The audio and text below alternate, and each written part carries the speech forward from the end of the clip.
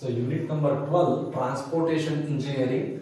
Transport transportation engineering carries uh, 9 marks weightage in examination. Question number 166. The highest point on cross section of road surface is called dash. Question number 166. The highest point on cross section of road surface is called dash. And the options are option A crown, option B camber, option C gradient, and option D bun. These are the options. And here we have a typical cross section of an road.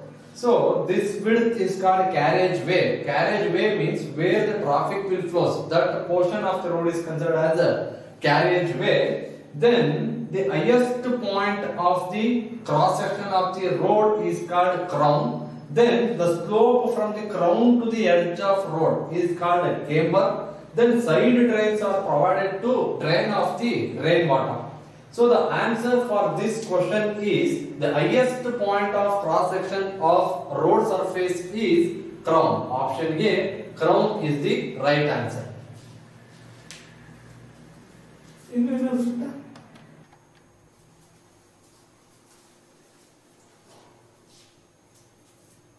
Question number 167. The value of rolling gradient in plane as per IRC is. Question number 167. The value of rolling gradient in plane as per IRC is. And the options are option A 1 in 10, option B 1 in 20, option C 1 in 30, option D 1 in 40.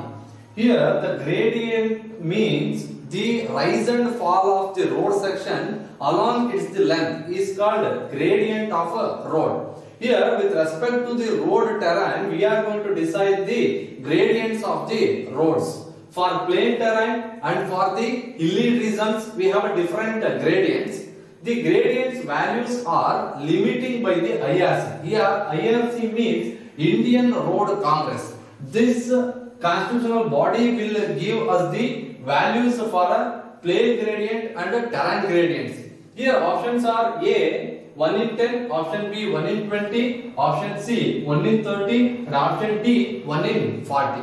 For plane surfaces the rolling gradient is 1 in 30. Therefore the right answer for this question is option C 1 in 30. Then the maximum gradient is 1 in 10.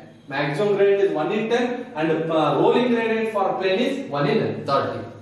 Question number 168. The next question number 168. The penetration test on bitumen is conducted to find out. Question number 168. The penetration test on bitumen is conducted to find out. And the options are option A grade of bitumen, option B viscosity, option C ductility, option D none. So we are going to conduct the different uh, testers on the bitumen for the different uh, parameters to identify different parameters. To know the viscosity of the bitumen, we are going to conduct tar viscometer test. For the viscosity, we are going to conduct the test called tar viscometer test. Then for ductility, we are going to conduct elongation test. Here the question is penetration test on bitumen is conducted to find what? Therefore, option B is for tar viscometer test. Option C is elongation test. Therefore, the right answer for this question is option A, grade of the bitumen. The penetration test is conducted to determine the or find out the grade of the bitumen.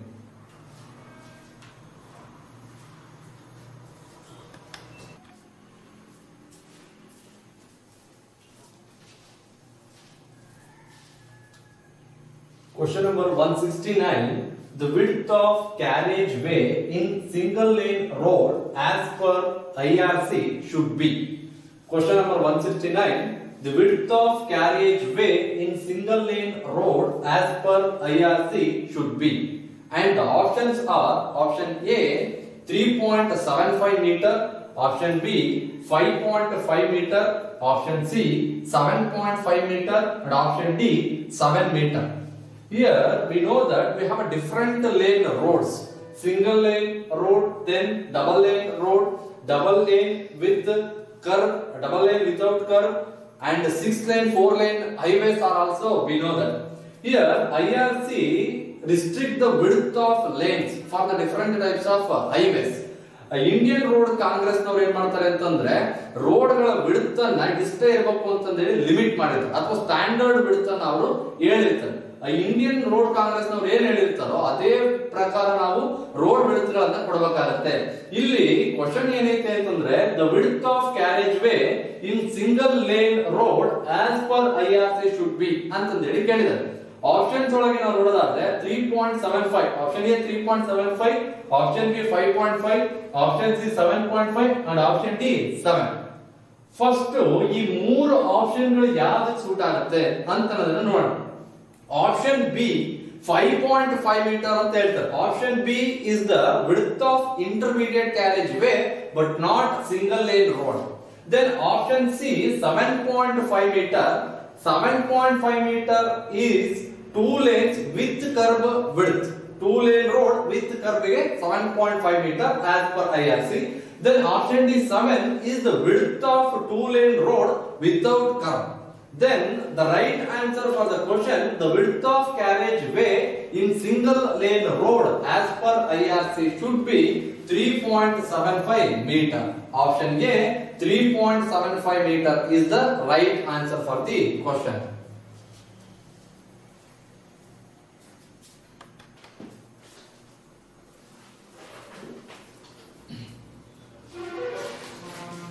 Next question, question number 170.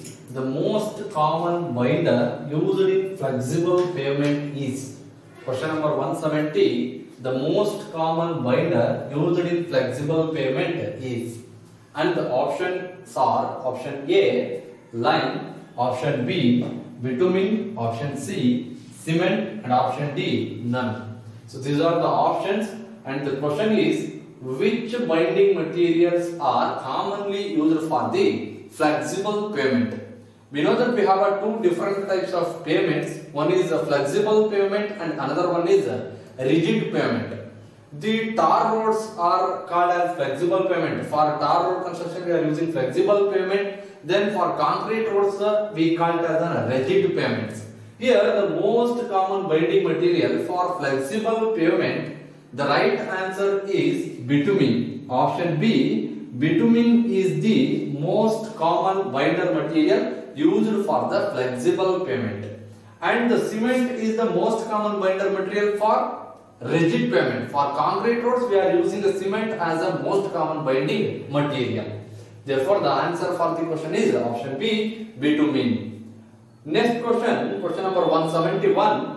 The width of ballast section of track in BG as per IS is the width of ballast section of track BG as per IS is and the options are option A 3.35 meter, option B 2.25 meter, option C 1.83 and option D 5 meter. First we need to know what is meant by BG.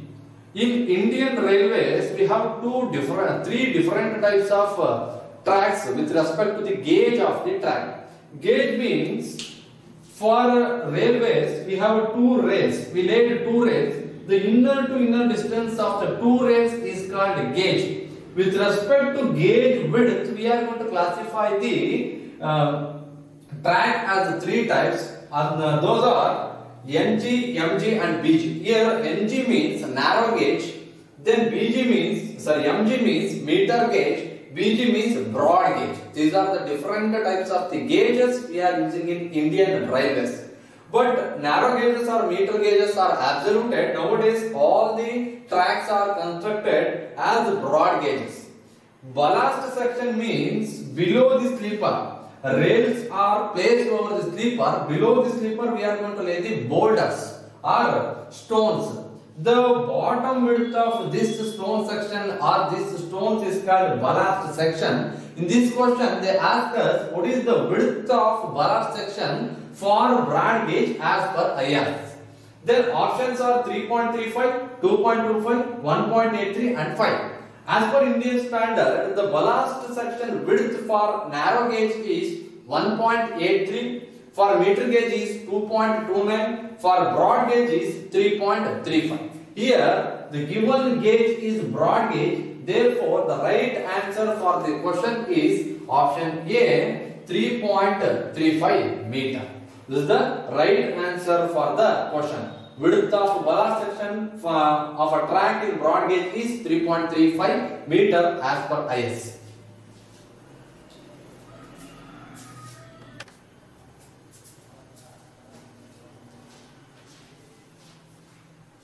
Next question, question number 172 is the minimum formation width for double line broad gauge in embankment as per IS.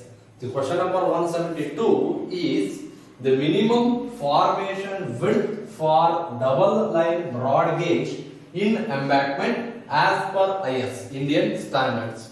And the options are option A 6.1 meter, option B 5.5 meter, option C 10.7 meter, and option D 10.10 meter. These are the options for the question. To answer this type of questions, need to remember the below mentioned table. This table will help us to track this type of questions or to answer this type of question, we need to remember this uh, table. Here we have a type of track for broad gauge, for meter gauge and for narrow gauges.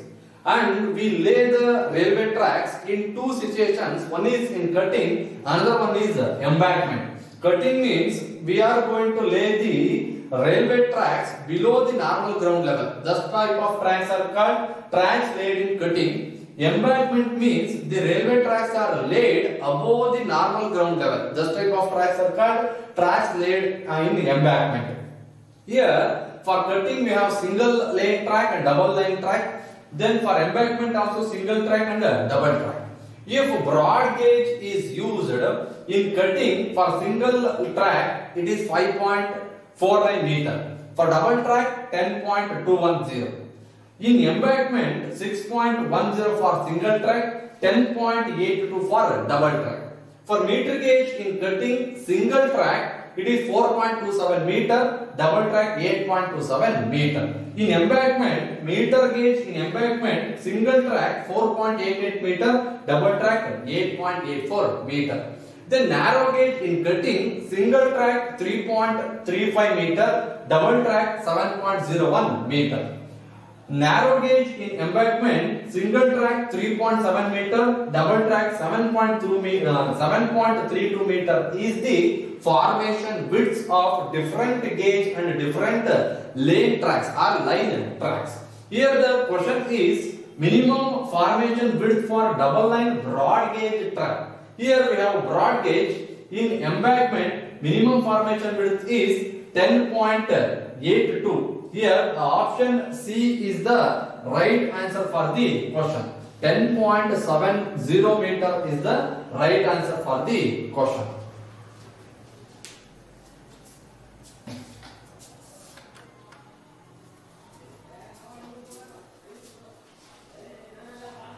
So the next question is 173 rising of water level on upstream side of the river due to construction of bridge is known as. Question number 173 is rising of water level on upstream side of the river due to construction of bridge is known as. And the options are option A afflux option B waterway option C coffer dam and option D cation these four are the options for the question. Here the question is the rise of water level on the upstream side due to the construction of bridge.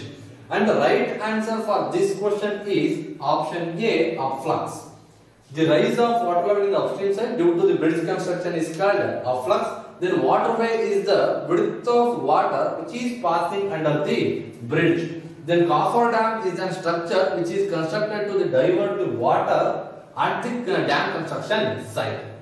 Then question number 174. The triangular portion or semicircular portion provided on downstream side of a pier is called. Question number 174 is the triangular portion or semicircular portion provided on downstream side of pier is called. And the options are option A ease water, option B cut water, option C buffer, option D none. These four are the options.